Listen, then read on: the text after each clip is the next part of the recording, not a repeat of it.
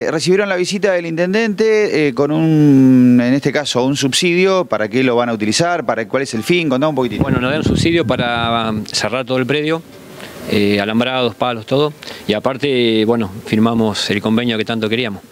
¿De qué se trata el convenio? Y el convenio que nos da el uso de toda la, de toda la, de la sede, el predio, eh, bueno, era lo que tanto Eso como queríamos. dato, Javier, ¿por cuántos años? Cinco años. Así Bueno, que ¿qué, qué- qué significa esto para el club?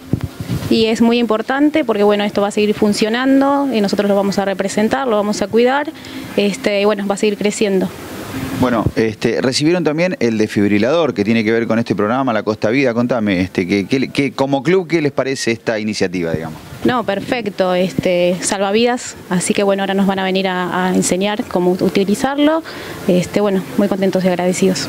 Bueno, ¿qué te parece esta posibilidad de tener un equipo desfibrilador en el club? Buenísimo, buenísimo porque mm, la verdad que pasa un accidente y no sabe cómo actuar y aparte que nos van a dar el curso también para saber usarlo y todo.